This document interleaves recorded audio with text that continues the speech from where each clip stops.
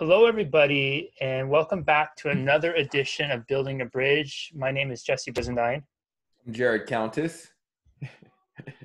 and uh, what we're doing here at Building a Bridge is, is we're our mission is to empower people to use their voice to build a bridge beyond race, beyond race relations, create unity and understanding, and effectively or hopefully raise the collective consciousness of humanity.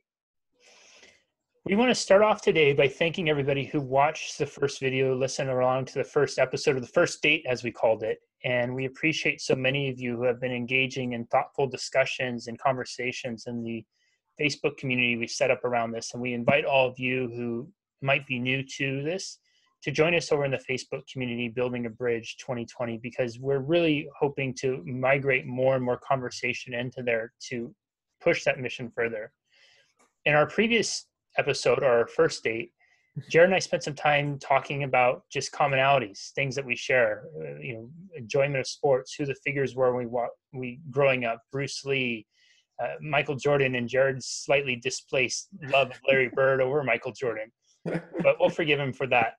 And then we got into talking about the dynamics of of cousin Jimmy, Uncle Jimmy growing up, and how he would he might do something uh, and commit some sort of criminal criminal act out of a act of love to help to help take care of the people in his life. And we shared the almost the parallel of how my mom might have sacrificed much of her happiness and joy in life as an act of love to help elevate and give me opportunities in life and now we are here today. We encourage you, if you haven't re-watched that first episode, please do so. I think we'll, we all we think you'll get much more value out of these if you watch them in succession. And we're going to do our best to keep today at 35 to 45 minutes. We appreciate the feedback. Keep it coming. So Jared is going to introduce what we're going to touch on today. Oh, today we're gonna dig deep. We're gonna um, we're gonna talk about cousin Jimmy, Uncle Jimmy um, thing, but we're gonna ter- talk about black on black violence in terms of we're gonna rename it as criminal on criminal violence. Um, we'll go we'll flip flop back and forth just for clarity's sake, but when we think of black on black violence, it is criminal on criminal violence. If it was just you know an abundance of black people who are law abiding citizens killing other black people who are law-abiding citizens, then the numbers would be much, much larger. Um, we're going to talk a little bit about how the median income for black families has gone up, how black people are striving to push themselves to higher and higher social and economic levels, how black women um, are the most educated group in the United States of America, right? Um, and then we're gonna kind of dig into the disparity, um, get a little ugly, and talk about how black men are disproportionately sentenced to prison for longer terms, um, and that's and and and what really systemic racism is. Um, probably going to try to rename that term uh, simply because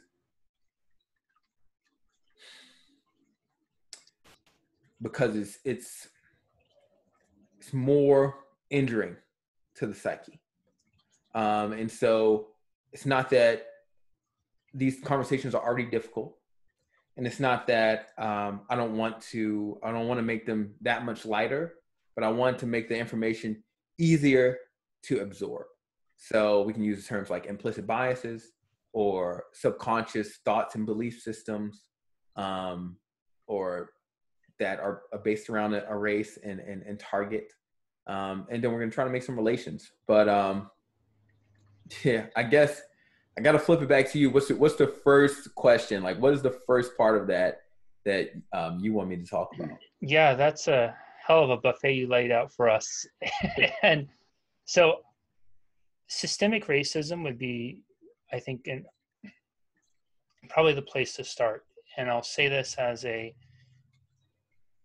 as a white guy, I don't understand it from the perspective of a black man.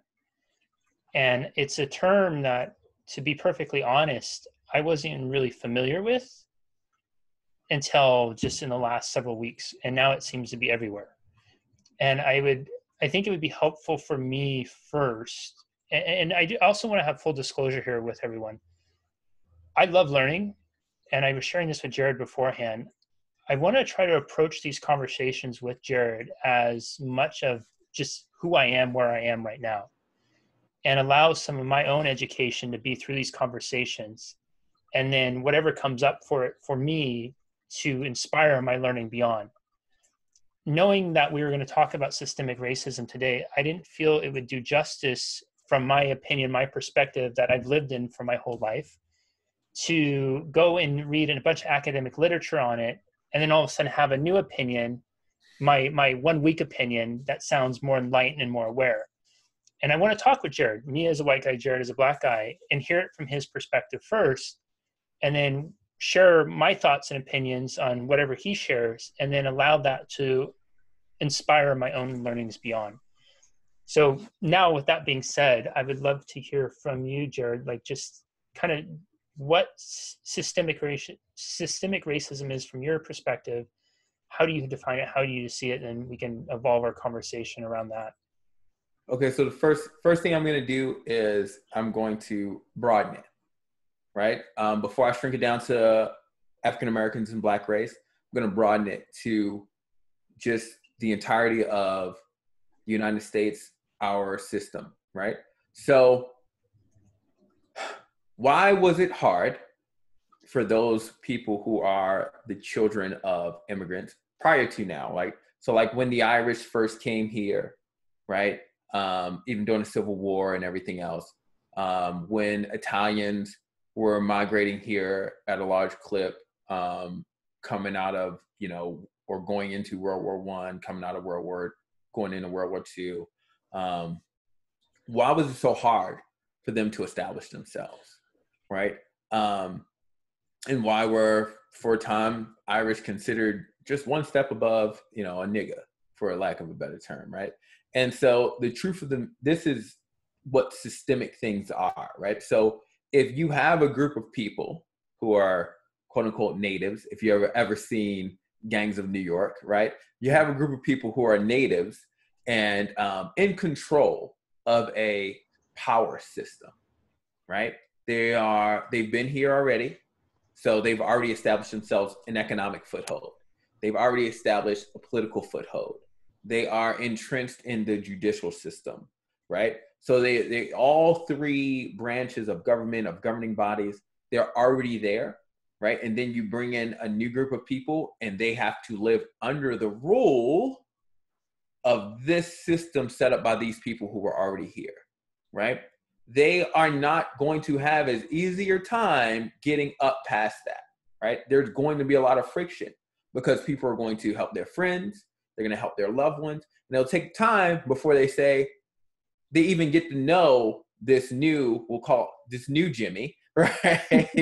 this Irish Jimmy. It'll take time before they even get to know him enough to say, oh, he's got good moral character. He's a hard worker.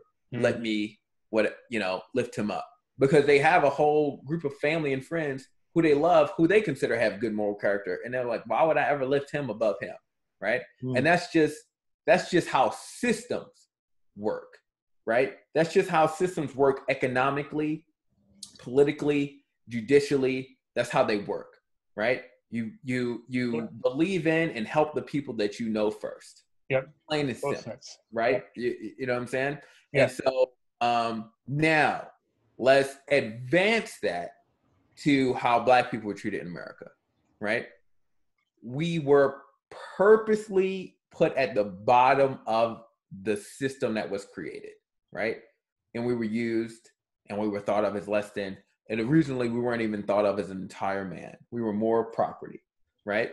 And every time uh, an event happened where they had civil war and black people were free, right? And you had amendments established to kind of make black people equal, right? But the system was still controlled by the same people, right? The system was still controlled by the same people, politically, judicially, right? Economically, right? It did not and some of those people really did not want to see black people move up. Like, I don't even want to get to know you. And it was segregated so that you could not get to know the Jimmy in the black community to even say that he had good moral character or he was a hard mm-hmm. worker, right? And and your parents even thought of him as less than a man. So if you really saw him excel, you had atrocities, right? Especially after black people were free, you had Rosewood, Mississippi, you had Tulsa, Oklahoma, you had race riots where white men in sheets killed hundreds of black people, right, and burned down towns and everything else, right, and and not never went punished, right. And so, what did that do for the black psyche of people in the South, right? One, it caused a great migration. People fucking fled, right, to the north to work in factories and Ford and all that other kind of stuff. And and then two, though, it created this fear of as I go up, I will always be beat down. And that became a psychological thing that became built in. And so it was almost a fear of success built into the into the mindset and the system. Right. And so that's that's a that's a whole nother thing with brainwashing and all this other kind of stuff. But some of it was done on purpose, right? So okay, so the system system oppresses because it's family, friends, people look like me, right? And you don't look like me, I, and I can't take time. Then segregation ended. Now you get a chance to know black people, right? but you still have some people that don't like, right? And don't trust, right? Because it's just ended, right? And I still have my friends, my family, and everybody else who looks like me, who I would, I, why would I lift you up, who I don't know, before I lift them up, right? And so that still happened, right? And you have, because you've been economically depressed or suppressed for so long, you don't have an economic foothold, mm. right? And so one of the things that can can beat, right, some of things with systemic racism is economics, right? Which is why you have people like a Jay-Z or Lil Wayne or um but Jay-Z didn't come out and say this, but like a Lil Wayne, like a Morgan Freeman, you can have like some of those videos that people have posted with some of the most affluent black Americans saying racism is not a problem, right? Because once you reach a certain economic level, it really isn't right? It just it, it's just you know your your your fame and your your economic standing has just pretty much wiped away the ability for somebody to really truly oppress you on the judicial um, um, level and on the uh, political level, right? Because your economic standing is just like politics. If you're a billionaire, like politics affect you, right? But like not a lot like not not not like you you know what i mean like not to the point where like and you can affect and your money can affect politics so well that it's yeah. like it's yeah it's not gonna you know what i mean it's it's it's just not the it's not the same like policing laws are not gonna be like a worry to you because you're not trying you're not doing anything economically shady or you don't have to do anything economically adventurous to to move up or to survive right? Okay, so that's the that's the systemic side is is that right? It's just that people who control the system will suppress any new entry into that system, right? And that's just and that's and that's people dynamics. That's how people work, right? And then we can dig on, um, if you want to, we can dig on laws placed in place that disproportionately targeted um, Black communities, um, and but most of it, most of it was economic depression. Hold on for one second. Can you turn that down out there, please? Can you turn that down? Thank you. Okay. All right. Sorry about that. Um, um, you're saying you talk about laws, laws. Most of it was economic suppression. That's a joke. Okay. Yeah. So so once we're all quarantined, sheltering and placing stills, we have to contend with family, friends, other people in the background. like yeah. construction that's outside the window here. Please should yell at them. yeah, I, I, trust me, I want to. I feel like you've given me. I'm trying to work now. Trying to change. I'm trying to make the world a better place. Yeah, yeah, yeah. it's like what was it? Was it Will Ferrell yelling "Mom, the meatloaf"? Oh.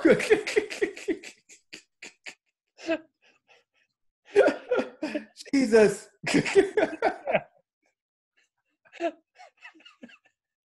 yeah. So, so um but yeah but okay so you had just the just the general suppression systemic suppression that people do in all races right? Um no matter. And then you had the targeted um racism which created a barrier for white people to get to know black people which made that just just regular systemic oppression worse right? Um, and laws written in place to to keep it, like I said, depressed, to keep us economically um, depressed. And then when those laws sort of kind of went away, right? Um, it became um,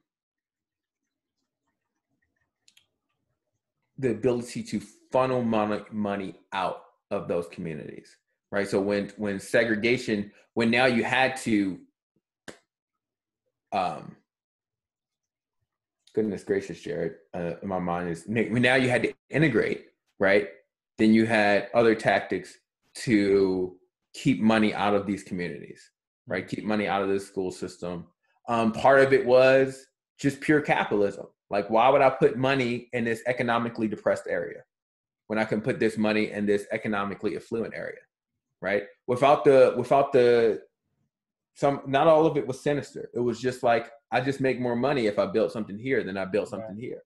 Right? I just do. Right. So I'm gonna build here first.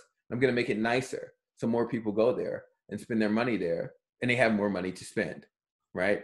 But again, that that becomes a system that creates further economic distance, right? Further distance between one group and the other.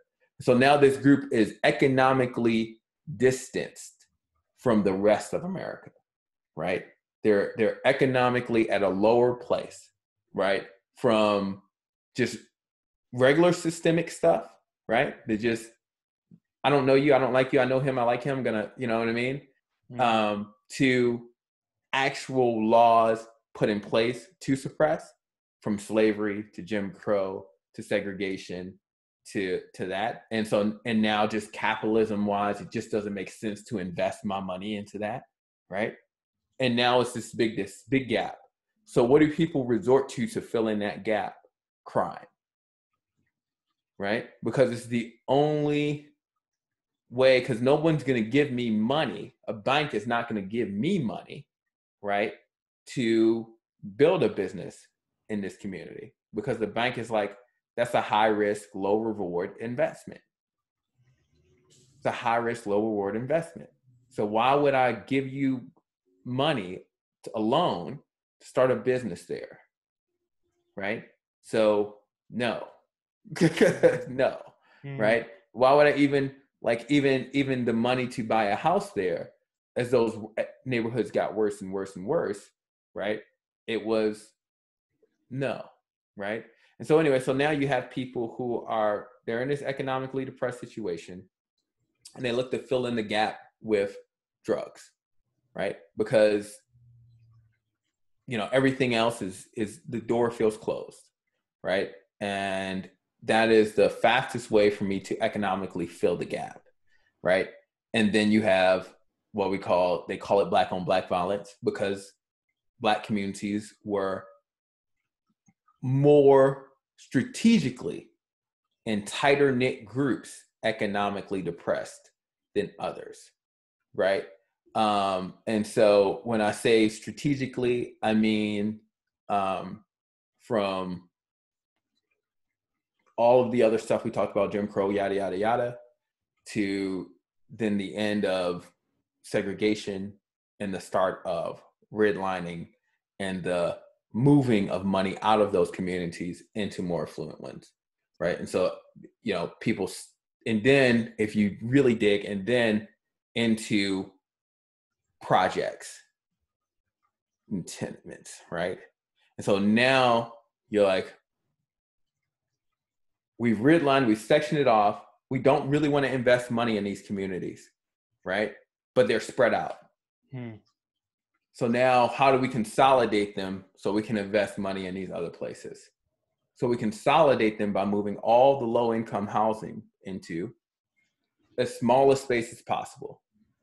We build big, massive project buildings and we invest no money into that community because it's low value, high risk. And so it gets worse. And drugs come in. And then you have a highly competitive atmosphere in a very small space. What happens? Right? Highly competitive atmosphere, very small space. Violence. Violence. One of the reasons that violence has gone down in the black community, you had champions, you know, and uh, oh, listen to this had champions like Rudy Giuliani, right, who fought against who fought against crime, and he took down much of the you know his started to take down much of the mafia and organized crime in New York, and which trickled down to hurt other criminal organizations. But then you also had the tearing down of projects, right? And when you started to tear down projects, economic, like the money was able to disperse more equally because then the people were dispersed right? And so people were able to to live in areas where they were able to benefit from the money invested into those communities. So that a lot of a lot of things about systemic racism have have changed and are much better. Some of the laws put in place are still the same right? And some of the the the cognitive biases of just systemic things of just I know this person and identify with this person more than I identify with this person, right? Causes some of the disparity between sentencing and how, you know, black people are sentenced as far as crimes are concerned, right?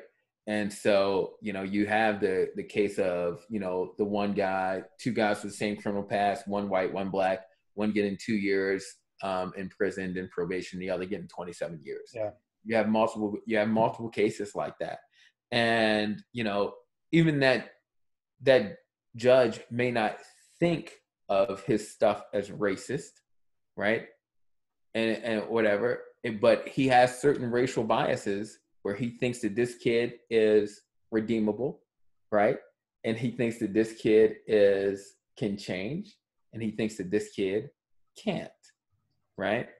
And so you know Jimmy or either whether they're both Jimmys or not. You know, they could both be thugs. They could both be. I doubt that, right? But I'm pretty sure they both have somebody that they love in their life, right?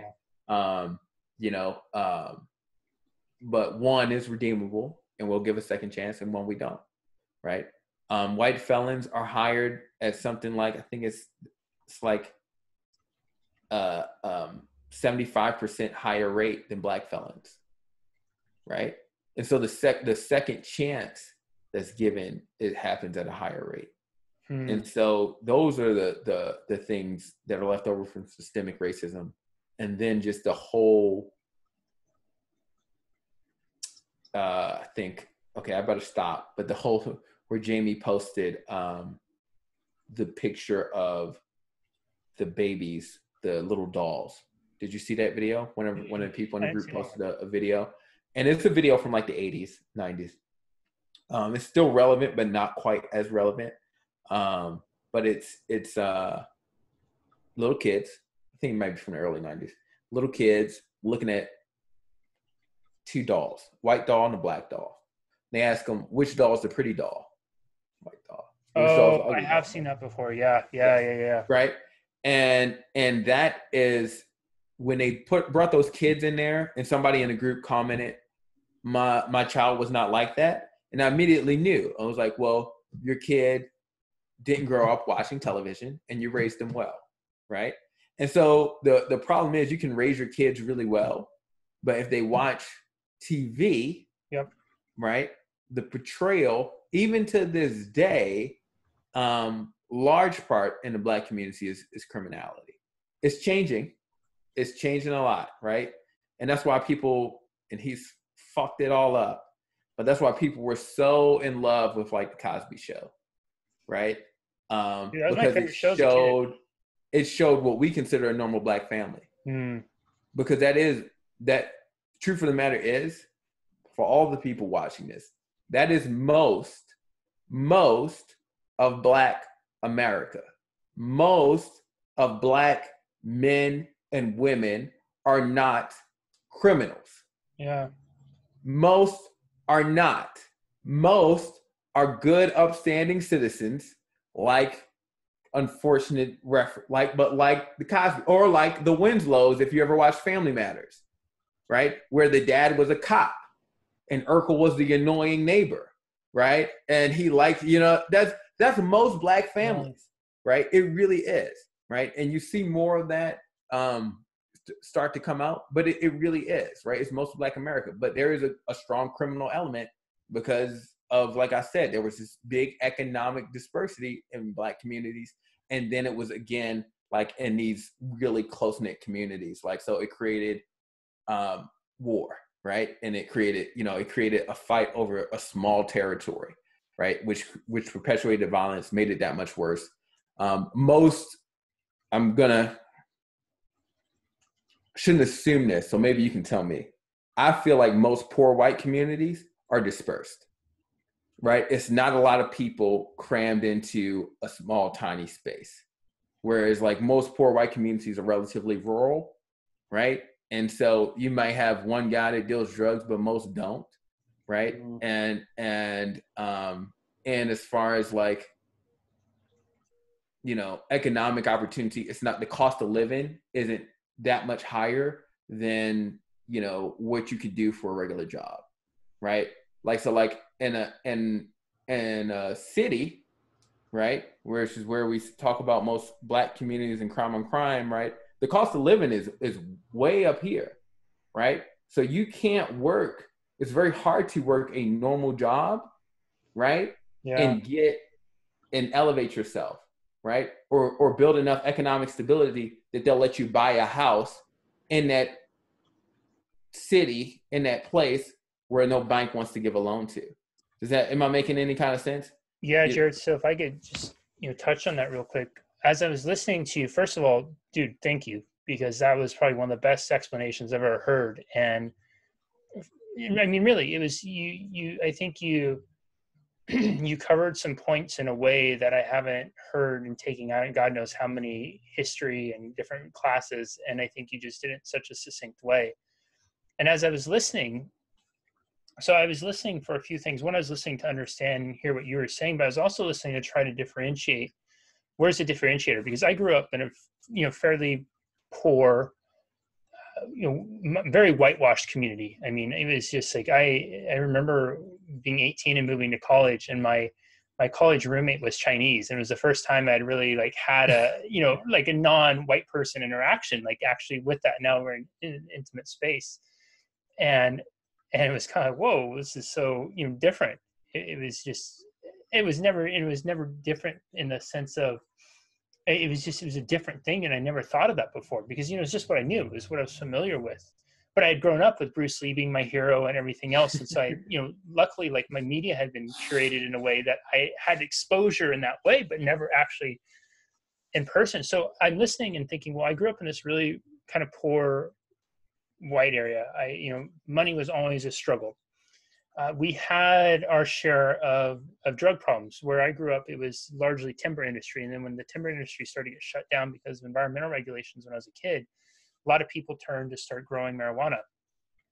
And there's even a documentary on Netflix called Murder Mountain that came out last year, I think. And it's it's an area just down the street where basically it's it's a bunch of good it good old boys dispensing good old boy justice with fellow uh, marijuana growers and people would come up there to what they call i think clipping where they come up there trim marijuana and they disappear you know a lot of people who are kind of loners or vagabonds and they move around to these different places and they just disappear. The documentary alleges that that's one of the highest missing person places a rate of missing persons in i think the us or maybe even uh, i don't want to quote too much of that because i'm probably misquoting it but the thing that really just stood out for me with you there was this. Because then I'm listening to so I want to try to understand how is it different that where's where's the difference of acknowledging what's happened in the past but where we are now because I I I believe we can learn so much from the past and I also believe we have to take responsibility for our right now and our future right so where's the separation for me as a kid growing up in this poor white area, you know, and, and, and, we're not talking about big dreams or anything like that at all. We're talking about you know my my education is paying the bills you know, making sure you pay bills, go to school so you can, you know, my, my, my mom very much was go to school so you can be better off than your dad and I are. And that was something she, she always told me education was going to be that way. That was what she believed. The thing that I really stood out to me, what you said is it was rural. It was where I grew up. I was, while that was going on, I also grew up in a very like wooded area. So I didn't have a neighborhood. I was on this. We rented this this small home from people, so we had access like 40 acres of trees essentially, and it was just I never had really friends in the sense of a neighborhood community growing up. I would have people I interacted with school, but when I would come home, it would just be really me and my brother, my brother and I. And you know, imagination or the one television channel you got, which I I had the one channel, so I grew up watching the Cosby Show I grew up watching Fresh Prince. I grew up watching those shows. I never did see Urkel. I just knew of Urkel because he was kind of a pop culture thing, but he's on a different station.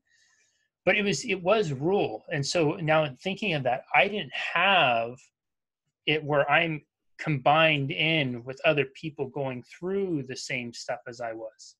So even going to school, that's six or seven hours a day, and then you step back and there's a separation from it even our neighborhoods you know going back when i go back to visit my mom neighborhoods are are spaced out where each each neighborhood has a little bit of green in it. It has a little yard. You know the houses have some distance between each other. You're not necessarily most apartment buildings are you know three stories of that high. They have a little community space all these things. And and so what i'm taking from that is is there is a place to have a little bit of escape or there is a place to have a contrast right? Where you can see something different than what's shoved right in front of you. But what i'm hearing from you and with the with the black community which i never considered this before is when you are everything is so stacked in and so condensed and you have this massive amount of people kind of shoved into one small geographic area and everybody is struggling for the same thing and it finds out very quickly that hey cousin jimmy or now this might not even be cousin jimmy this might be friend jimmy was able to make some money to buy a ticket to go see a movie by selling this. And hey if you want to go see the newest avengers movie that's coming out just go over here and this guy will give you some of the stuff and all you have to do is just take some of that stuff and and go and take it over there and i imagine like with most and i want to get into the crime piece with you and i know we're, we're going to be coming tight on time so this is going to definitely be a two part piece. Most of the criminal stuff so it's it's very easy i think when you're a, a law abiding citizen to cast a judgment of well just don't commit crime right? It's, it's just don't commit crime. And i've i've said that too like and i've said it pretty you know not exclusively to one group or another. It's just hey like don't fucking commit crime, be a better person. But I realize there's in my ignorance in the sense of the the 10 year old kid or the 8 year old kid who goes to run some dope for whatever it is and goes and sees cousin Jimmy who's operating on the corner.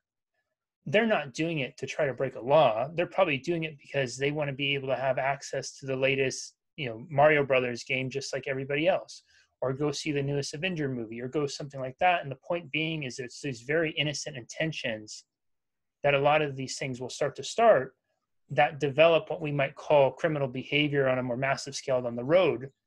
And where I'm hearing though, and which I thousand percent agree with you on this, where there's a huge problem with that is, is when we are prosecuting people, we're not prosecuting from that innocent intent that it originated with.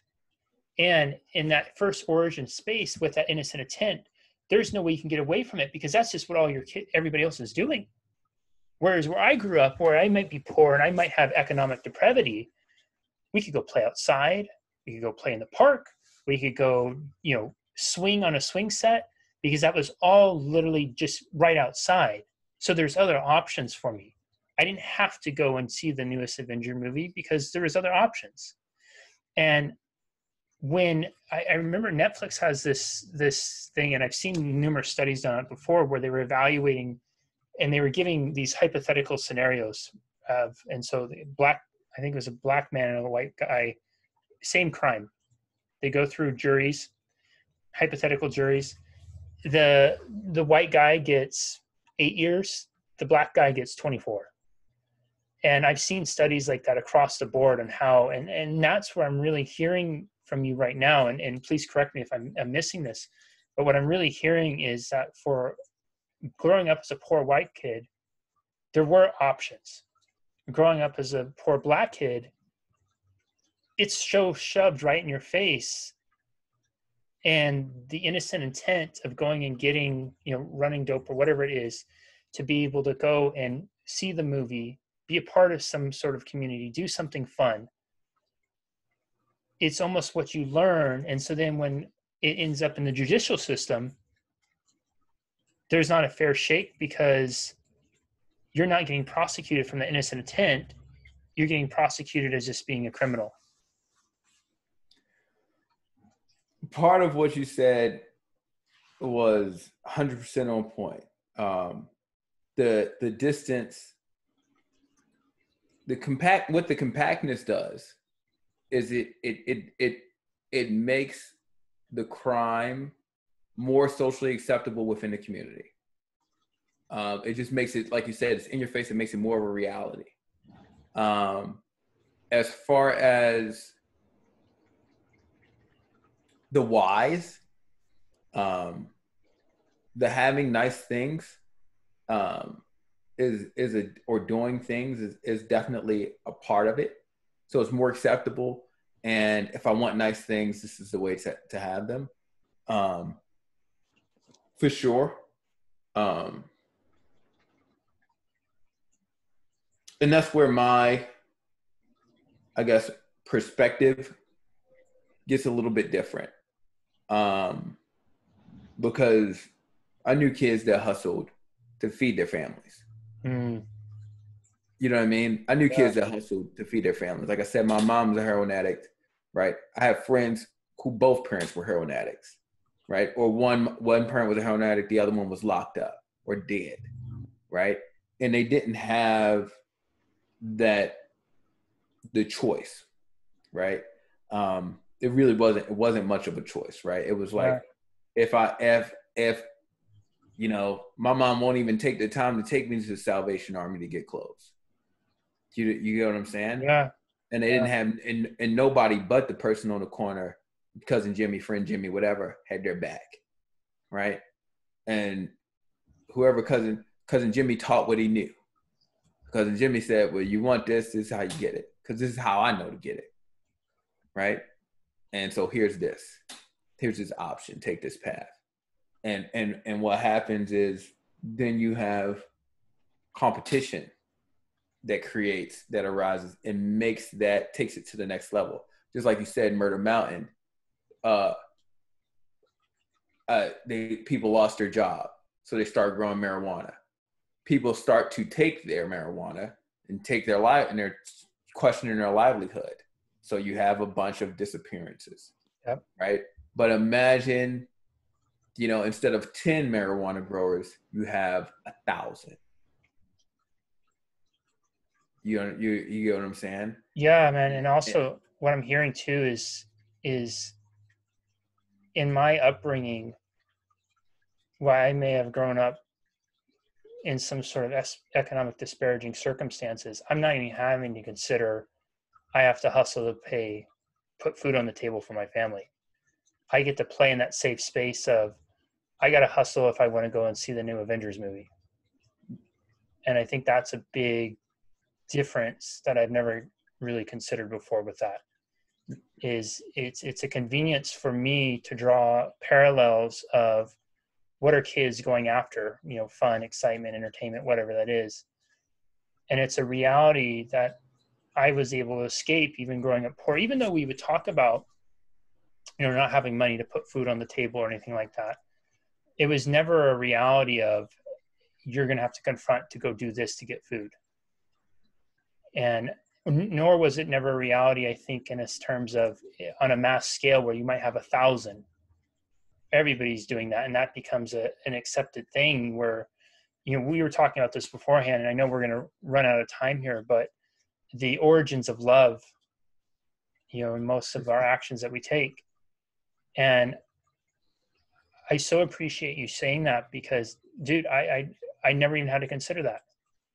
You know, I never had to consider that. My experience of being poor was, was one of, of not having money was causing my mom happiness. You know not having money was shame because we couldn't pay bills on time or something like that. It was never a matter of we don't have money so i need to go out and do something you know wrong whatever that is to get food. But in the dynamic reverse in poor black communities it's hey if you want to eat if you want to take care of your family you need to find cousin Jimmy because he's going to have your back and he's going to help provide you the means to do that. Yes. Hmm. Yes. Yes. Yes. that's a whole nother, it's a whole nother thing. Right. And so, yeah. And, um, and I mean, that's, that's real. It's like I said, is that a reality for everybody that gets involved in that business? No, but it's enough. It's enough of of of the most especially the most reckless of what you would consider soldiers who do that right?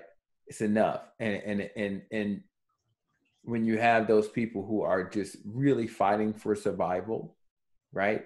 It just it takes the the entire game to a whole whole nother level right um it takes it to a whole nother level and so but you know it we I like I, like you said, I think we, we I gotta I gotta wrap it up. I gotta get off of here. Um, but um, we'll do yeah. So so next time I do want to address like some people do do do stuff like that to to have nice clothes and nice Jordans most of the time, or what or what kind of I guess what that community makes acceptable and what it doesn't, right? And um, you know, systemic racism is all of the systemic things that happened to create that kind of economic gap, right? That created what people felt was the necessity for that, or the pain that um, permeated a community that allowed drugs to invade it in the way that mm. it did, right? And permeate that community. Because because because most people who use who start off using drugs and get addicted, they're filling an empty void. They're coming from a hurt and painful place and they're trying to escape that pain. So if you have a whole community that's in pain and you give them this out, right? This psychological out, you give them that. There a lot of a lot of them are going to take it and become addicted to it. And so um, you know, that is so when we talk about like it's it's it's it's a lot of this information is commonplace knowledge. I think that's another issue, and we'll talk about this too in the black community. Is that a lot of this information is commonplace knowledge? Like so, I told you the vast majority of black families are Cosby's, uh, you know, everybody else, right? And you have a small sect, not a small sect, but you have a percentage that are criminals, right? Highly violent criminals, right? But that information that we're talking about now is is responsible parents teach it to their children when they're ready to hear it if that makes any kind of sense right um, I, I explained it to someone else um, like a jewish family will never let their children forget the holocaust whether you taught it in history books or not they just won't right so the truth of the matter is like black families who who like like even though my mom's a heroin addict, she has three master's degrees, right? And my mm-hmm. dad is a my dad's a lawyer, right? Learning our history in the United States of America was always important. So, you know, as you've seen the, the African American communities median income go up, and you see black people who d- did not fall into crime and criminality, and then a lot of them that have, right? none of this, like this information, like the Tulsa, the riots, Rosewood, all these things are coming out. We we've not, we've always kept ourselves educated on it. um, because it's, it's, it's a part of our history and and and uh, I mean don't get me wrong there are a few but not many but we don't it's not it's not held on to say I'm angry white people it's not held on to say um, I got to get vengeance it's just it's just held on to to understand our own people and our own problems. So, because it's it's, I will give, and we're gonna end this here. I will give everybody in the white community this. It is hard to watch television. It is hard to see crime rates in cities, right? And things like that, and to understand the level of violence or disregard for human life and the nature of that criminality. So when we teach our children about our history, it's so that we can understand the psychology of ourselves first and foremost, so that we can look in the mirror and see our own humanity and not become a Candace Owens who has who has demonized all of black culture right? And, and it's because she doesn't understand the maturation of the psychology or how the system worked to create that. So when my father was teaching me that stuff he wasn't teaching me to say or my grandparents hate white people. He was teaching me to say understand the pain that your brothers and sisters are going through and love them. Mm. And so that is why we hold on to it right? For the most part for the most part so that we can we cannot we can look in the mirror and learn to love ourselves. Because that was if you want to talk about what was really stripped from african americans that mm. the ability to look in the mirror and feel pride in what you see. That's what happened when when when and we'll leave it here but that's what happened when you know whole identities were stripped away and culture and everything else. And now your culture is gangsterism so to speak in a lot of fucking ways. How do i fucking look in the mirror and love myself when that is the way i'm represented in everything and so i understand that's why i want to do this talk because i can understand how you know someone from a different culture a different race could just be so distant because because you see the same things I said. Yeah. The same things that would make me look in the mirror and possibly hate myself. You see that. So I have to understand it. Have to understand what brought my culture there. Just like if you were a fucking, just to be honest, just keep it, and we're ending right here. If you were a goddamn Viking, right, and the motherfucker, and in, in, in the 14, 1500s, and you looked out and all your people did was rape, pillage, and kill, right?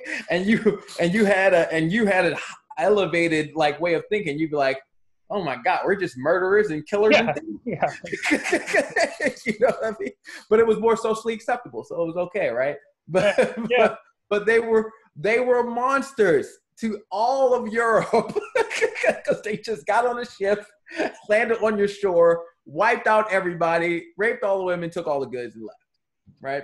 and and, and so um, you know people can elevate that and whatever now, but like I, it's probably the worst analogy, but, but I hear you going with it. Totally but uh, but yeah, but like it's it's very hard. It's very hard to to look at some of the atrocities committed in our own community, and and and um, even if you lived it and you touched it and it was close to you like I did, to understand it um, and to have compassion for the for the people who commit those things.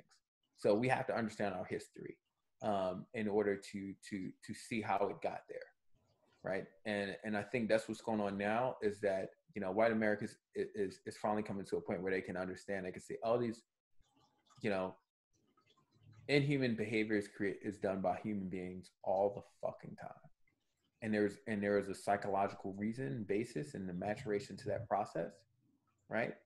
That that is that goes beyond race or color or anything. So anyway, that's that's it. I know we didn't end on a cliffhanger, did we? No, that was good, man. That's complete. So just to quickly wrap it up, everyone, I hope you we'd love to hear your thoughts, your opinions, your discussions on this. This isn't about who's right, wrong, good, bad, anything like that. This is really about having really open and honest conversation, being able to ask the tough questions, look yourself in the mirror. So please, please share your thoughts. We'd love for you to be a part of the Facebook community so we can go more depth in this. It's uh, Building a Bridge 2020, facebook.com, buildingbridge2020.com. Hop over in there. We'll put links in there for it as well. And yeah, well, we'd love to hear what you, your thoughts are on this as well. And also, you know, one other question, I'll put a poll up in our Facebook group with this too. What about frequencies? Do you, are you finding value in these once a week? Would you like these to be maybe twice a week? You know, we really want to hear from you to make sure we're we're creating a community that we can all come together and and have these conversations, hold this space, have these discussions, and it's only we're only going to grow if we come together. So that's really what we hope to facilitate. And Jared, man, I really appreciate you sharing and opening up and going to these different places and, and explaining things from the way you it, from the perspective you did, but in the way you did. It, it made it feel very safe for me to share my opinion, my observations, and it made it, me feel very uh, safe to be able to contribute to a discussion that I have felt uncertain about contributing to. And I, and I just thank you for today. This was really this was really powerful. Oh, hey, I I appreciate. it. I hope I didn't lose people at the end there. Um, and don't be don't be afraid to ask the hard questions. Yeah, absolutely. so I, I, I, hope I hope that that last uh, I guess diatribe gave people permission to say, Oh, so so black people in general do have their own negative feelings about, you know, what are considered the behaviors of of, of the black community or um, culture in general, right? And it, reiterate this: the majority of black people are like the fucking Cosbys and and the family of yeah. Fresh Prince of Bel Air. you know, I think the majority of white people are too. Like that's yes, no, exactly, yes, but that's accepted, right? Yeah, that's yeah i think that's it that's that is yeah. that is accepted in general knowledge like we know that we know that um i don't think it's accepted in general knowledge that the majority of, of, of, of black people are not standing on the corner selling drugs yeah i agree i think that's yeah. really yeah. So anyway that's i mean that's okay all right all right, all right everybody, we'll stop. We we know we told you we keep these shorter so we're, we're getting there we're working on it. Be patient with us. We'll see you all next time. Make it Bye. easy. Thanks jesse. You bet, Jared.